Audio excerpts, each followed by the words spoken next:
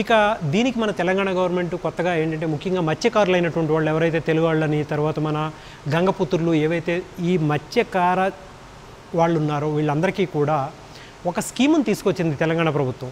అదేంటంటే ఇరవై ఐదు లక్షల రూపాయలు యూనిట్ కాస్టు దాంట్లో సెవెంటీ ఫైవ్ పర్సెంట్ సబ్సిడీ ఇవ్వడానికి తెలంగాణ ప్రభుత్వం వచ్చింది. ఇంతవరకు భారతదేశంలో మరి ఏ ప్రభుత్వం ఇటువంటి ప్రయత్నం చేసిన దాఖలాలు నాకు కనిపించలేదు. అయితే ఇరవై ఐదు లక్షల రూపాయల యూనిట్లో కేవలం ఆరు లక్షల ఇరవై ఐదు వేల రూపాయలు రైతు పెట్టుకుంటే మిగతా పద్దెనిమిది లక్షల డెబ్బై ఐదు వేలు కూడా గవర్నమెంట్ ముందుకు ఇవ్వడానికి ముందుకు వచ్చినప్పుడు చేసుకోగలిగితే చిన్న ఏరియాలో ఆఖరికి మీ గ్రామ మధ్యలో లేదా బంజారా హిల్స్ లాంటి ప్లేస్లో కూడా ఒక ఐదు వందల గజాల ఖాళీ సైట్ అంటూ ఉంది అనుకుంటే అందులో కూడా.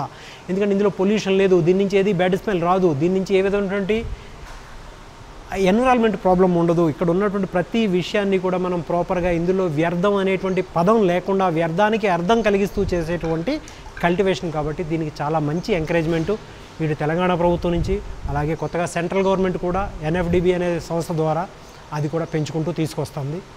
చాలా సంతోషకరమైన విషయాలండి.